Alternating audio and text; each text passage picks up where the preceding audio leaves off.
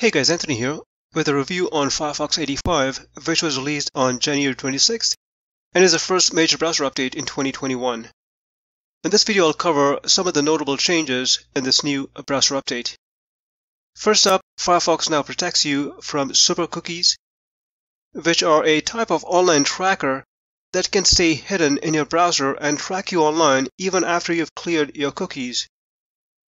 By isolating super cookies, Firefox prevents them from tracking you on your browser from one site to the next.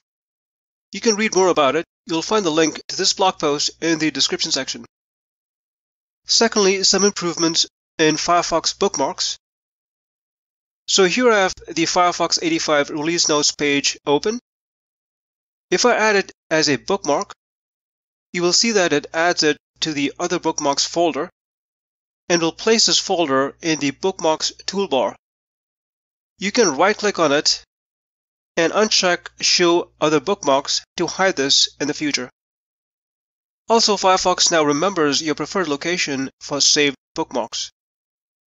Thirdly, in the Firefox Password Manager, if you go to About colon Logins, you will notice this new option to remove all logins, and this can come very handy if you want to delete all your logins at once.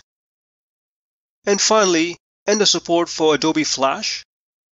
As I had mentioned in my previous Firefox update, Firefox 85 onwards will not include support for Adobe Flash. You can check this article from Mozilla. You'll find the link in the description section. So these were some of the notable changes in Firefox 85 you can check the list of detailed changes in the release notes. You'll find the link in the description section.